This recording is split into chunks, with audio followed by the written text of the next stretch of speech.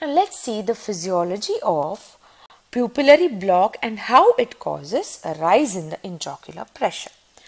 Now what happens the main thing is that the pupil is dilated in this condition. When is the pupil dilated? We all know that the pupil dilates when there is a reduction in the brightness of light. So now there is a tense person sitting in the dark. That is an anxious person or as we have discussed an emotionally unstable person let's uh, assume.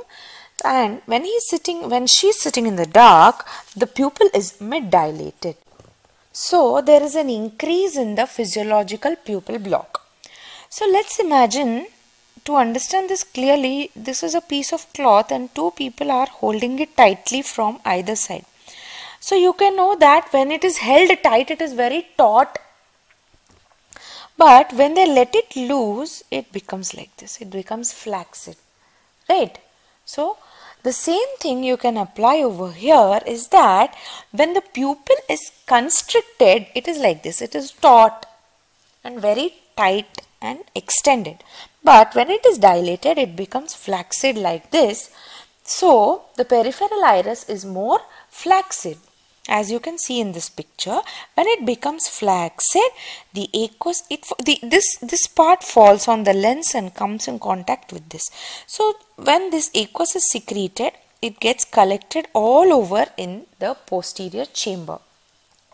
So the intraocular pressure increases in the posterior chamber and this condition is called iris bombe when the iris moves forward because of collection of aqueous humor in the posterior chamber. So, there's uh, let's just revise there is apposition of iris to the lens preventing the aqueous from flowing from posterior to the anterior chamber causing iris bombe. Now this iris goes and blocks the angle.